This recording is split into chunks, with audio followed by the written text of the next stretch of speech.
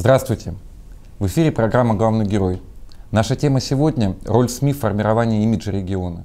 И в гостях у нас Владимир Компанейщиков, заместитель председателя правительства Омской области. Владимир, здравствуйте. Здравствуйте, Константин. Первый вопрос, находясь внутри, мы не всегда себе представляем а, и не всегда объективно оцениваем, в общем-то, регион. Вы человек, который много ездите, много находитесь, ну, вам есть чем сравнивать. А, как к нашему региону относятся в других субъектах, в столицах в частности? Как, есть какая-то... Ну... Да, я э, думаю, что какого-то стойкого, однозначного мнения о регионе э, в столице или в других городах скорее нет, поскольку аудитория разная. И э, если говорить о властных структурах, то это, наверное, одна позиция. Если о, скажем так, просто публичном общественном мнении, то другая. И, конечно, э, это мнение формируется в том числе теми событиями медийными, да, которые освещаются федеральными СМИ. Я далек от мысли, что в каком-нибудь там Пскове да, кто-то всерьез сидит и изучает наши местные новостные ресурсы. В последнее время федеральная повестка на мой взгляд, а, в отношении Омска достаточно серьезно поменялась а, и скорее там нейтральная, может быть, чуть ближе к позитивной. А, вы все помните прошлый год, ситуацию обращения к президенту по поводу состояния дорог в городе Омске. Был еще ряд публичных историй. Мы делали контент-анализ, понимаем, что зачастую в основе некоторых медийных скажем так, историй по отношению к региону, у некоторых медийных историй есть конкретные заказчики. Мы, а может, кому это нужно, зачем? Мы, может быть, даже понимаем, э, кто это. Ну, не суть. И вот мы уйдем из СМИ в разговор о политику, о политике. Кстати, интересно было. Ну, я, я почему спрашиваю, я же жил очень долго не в Омске, да, и э, в тот момент времени, когда я 15 лет отсутствовал, я так или иначе, это мой родной регион, все равно, когда смотришь э, ресурсы какие-то, ты цепляешь, не было слышно ничего. И я с вами абсолютно согласен, поддерживаю вашу, хотя контент-анализ я не проводил, да, но э, позитивно все-таки больше стало позитивных каких-то новостей, вообще больше стало новостей, больше стало федеральной, на федеральной повестке дня именно на известие событий из нашего региона. Но мы действительно э, очень серьезно э, стараемся заниматься тем, чтобы э, те реально проходящие, интересные, хорошие, нужные э, и эффективные события, э, которые так или иначе есть, а, происходят и будут происходить в регионе, попадали в федеральную повестку. Это в том числе и моя задача, как а, человека, курирующего а, информационный блок правительства. И, наверное, в этом смысле что-то у нас получается, хотя я не могу сказать, что я доволен. Действительно, для нас важнее не то, как нас оценивают там, люди, проживающие в Новосибирске или в Тюмени, а нам очень важно, и на самом деле критически важно, да, что думают наши а, жители, жители города Омска, жители региона, жители муниципальных районов о своем регионе, о своем месте проживания. И я не думаю, что если провести там достаточно серьезную социологию, что мы, скажем так, останемся довольны результатом. А, уровень пессимизма социального пессимизма, критического отношения а, к той действительности, в которой мы находимся, действительно высок. Это надо признавать, но а, не для того, чтобы, как некоторые СМИ делают, а, делать на этом вывод, что все пропало и ну, извините за сленг, валить отсюда нужно. Нет, как раз для того, чтобы с этим содержательно, системно и тщательно работать. Я думаю, что Действительно, мы меряем а, отношение к региону, исходя из того, что мы сами в нем находимся. А, очень трудно оказаться в позиции человека, относящего, относящегося к этому как-то со стороны и не сравнивающего, может, ну, как нас можно сравнить, там, сравнить а, с Тюменским а, ну, можно области. попробовать предложить сравнить с Курганом или с Новокузнецком. Я, а, опять, опять же, когда... Я, честно скажу, верю, не верю даже, а под это есть ряд аргументов, ну, на мой взгляд, достаточно значимых, чтобы об этом утверждать уверенно. Все-таки Омск и Омский регион достаточно уникальны на карте страны, а, и прямых э, аналогов устройства региона, его топология, а его географическое положение. географического положения и многих других вещей, а, честно сказать, я бы в стране не нашел. И э, эта уникальность и хороша, и плоха одновременно, поскольку очень сложно там какие-то кейсы успешные из других регионов а, переносить на нашу действительность. И применять здесь их. И я думаю, что важно, по крайней мере, что мы об этом говорим. Мне очень понравилась э, та дискуссия, которая в свое время была инициирована э, в рамках дискуссионного клуба, организованного платформой. Это в Цемовская площадка. Угу.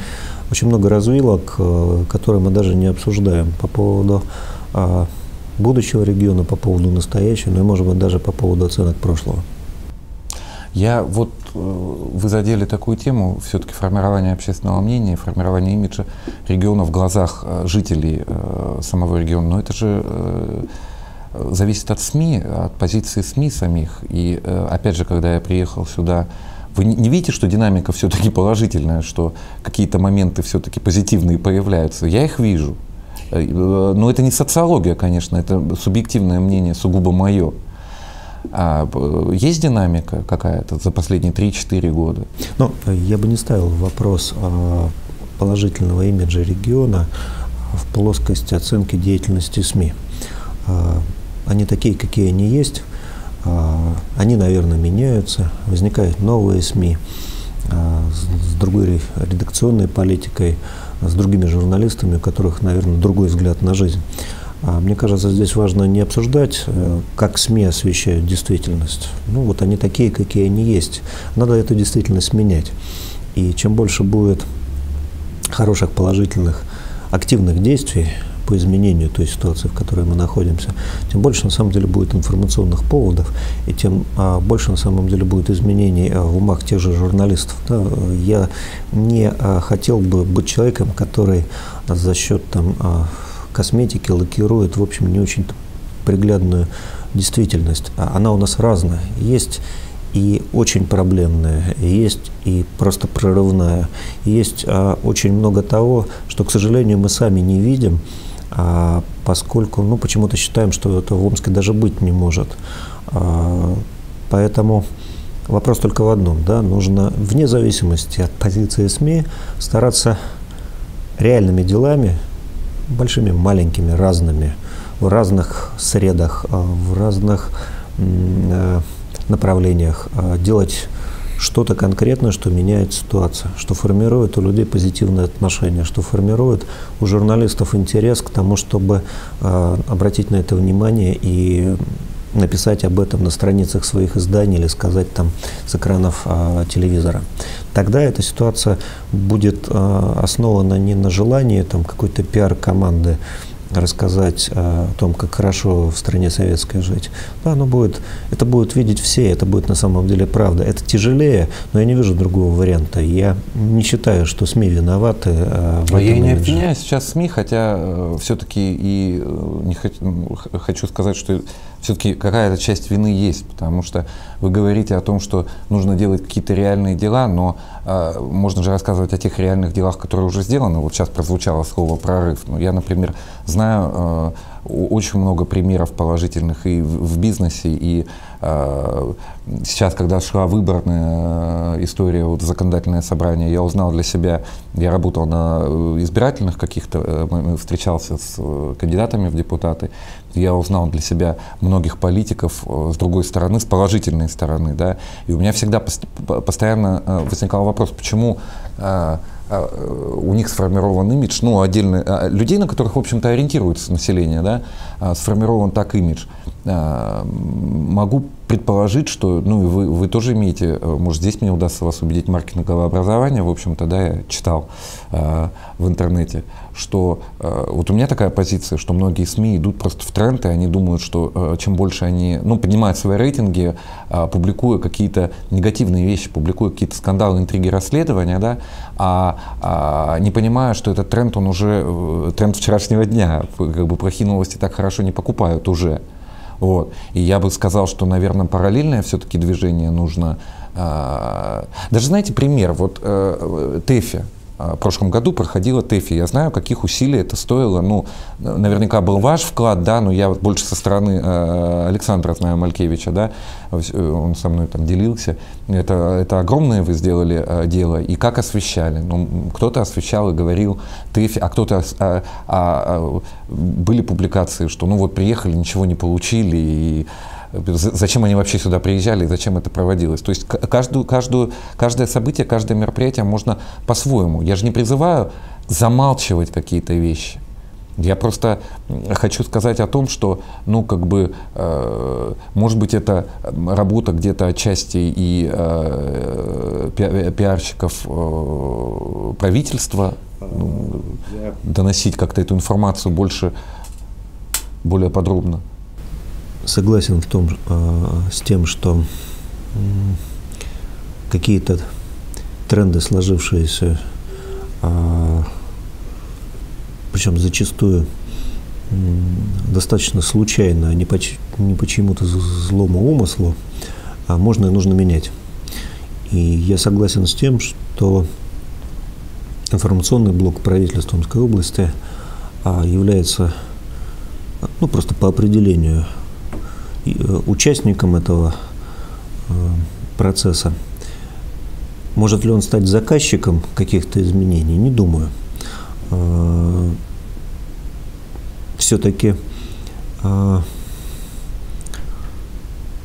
наша задача доносить до людей информацию и показывать то, что происходит в регионе, таким, как оно есть на самом деле.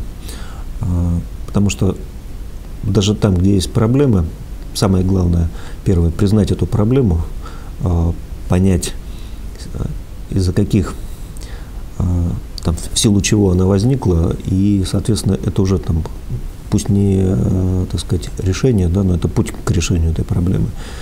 А, то, что касается формирования там, какой-то, какого-то, ну, вот у нас, там, скажем так, бренда, региона, э, история там про продвижение региона, конечно, этим нужно заниматься.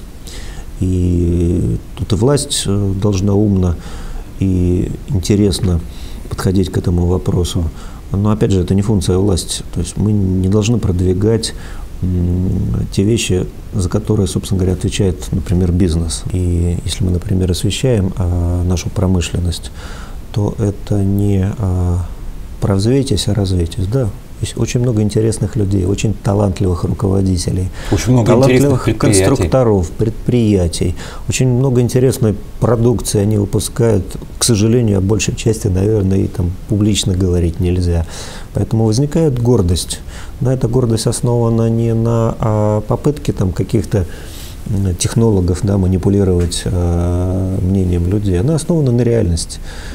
Другое дело, что компетентно, профессионально, интересно довести, это тоже отдельная компетенция. Я не буду сейчас говорить о профессиональном уровне э, там, российской и омской, как час, в частности, журналистики, да, но, наверное, здесь тоже всем э, вместе имеет смысл там серьезно я поработать. Я не об опыте, я о желании, Владимир, потому что, на самом деле, то, что вы говорите, я э, в Омске пять лет, и за эти пять лет я не журналист, никогда им не был, но за эти пять лет я посетил такое количество предприятий, которые не, не посещали многие наши журналисты. Я был в таком количестве и предприятий, и колхозов, и аграриев. И э, есть разные, есть, э, можно найти, э, можно посмотреть на заводы, которые стоят в разрухе, а можно съездить там, на высокие технологии, или на Сладонеж, допустим, э, первый завод, который я посетил, мне его показывал тогда Игорь и директор или там Титан, но есть же чем гордиться на самом деле. Почему? И когда мне рассказывают, что да нет, там все не так, но я это собственными глазами видел, да, мне это свидетели не нужны. И здесь больше должно быть желание. Вот, э, я, я не понимаю, как, как, как этого добиться. То есть я вижу, э, что движение есть, но с моей точки зрения оно очень медленное. И, и э, если говорить про дела, то э, а, а какие дела мы, что, э, про какие дела мы можем поговорить, которые вот создадут повестку дня. Есть какие-то дела в ближайшее время у нас, которые нам э, дадут повод гордиться еще больше э, регионом?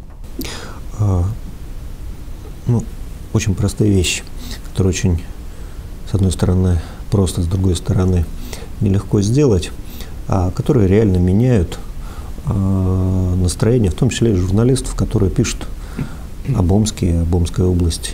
Мы помним в прошлом году, сколько было таких пессимистических и критических высказываний по поводу празднования 300-летия. А, если убрать контекст э, мегапроектов, которые кто-то когда-то обещал сделать, но они все-таки не были завершены, там пресловутый аэропорт, угу. метро и так далее, я бы не обсуждал, это большой отдельный разговор, но как набор каких-то интересных, очень иногда неожиданных событий, на мой взгляд, праздник удался. Вот право, да, есть ли это желание или нет, да, а менять себя, менять э, свое отношение к чему-то, менять действительность. Мне кажется, что э, у очень многих людей в Омске оно есть, очень много очень интересных, талантливых людей, которые гораздо больше меня знают, что и как нужно делать. И э, вот я для себя очень просто ответил на этот вопрос, хотя это сложно с точки зрения, может быть, э, выстраивания каких-то взаимоотношений, нужно уметь слышать людей, слушать их. Но очень много людей, которые приходят и предлагают очень конкретную, очень неожиданные вещи, а, которым нужно всего лишь чуть-чуть помочь для того, чтобы они состоялись, чтобы они запустились. И это точно будет куча красивых, интересных э, информационных поводов, которые и вам, там, как журналистам, будет интересно освещать. Самое главное, это понравится людям. У нас э, очень многие вещи просто скрыты от нашего внимания, потому что мы всегда, ну, например, мы говорим про промышленность. Первая развилка, да, вот наши гиганты, вот высокие технологии, завод «Полет», завод Баранова, и мы говорим, мы гордимся, да, гордимся. Э, это оборонный щит страны, это уникальные люди, уникальная технология. Я знаю и уверен в том, что мы способны э, очень мощно и очень э, сильно стартануть с точки зрения перезапуска очень многих вещей в городе. А я напоминаю, что темой нашей сегодняшней программы была роль СМИ в формировании имиджа региона, и в гостях у нас был Владимир Компанийщиков, заместитель председателя правительства Омской области. Владимир, спасибо. Спасибо вам, кстати.